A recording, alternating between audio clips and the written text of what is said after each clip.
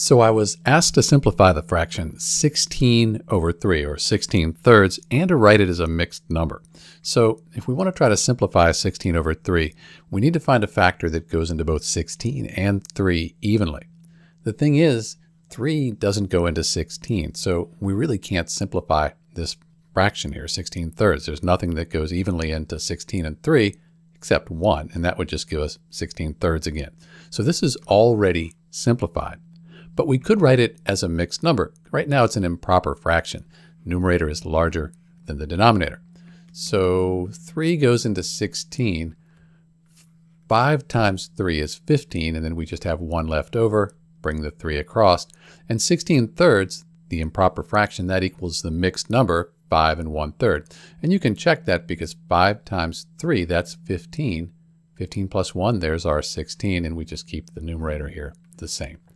That's it. This is Dr. B writing 16 thirds as a mixed number here, and we tried to simplify it, but it's already simplified.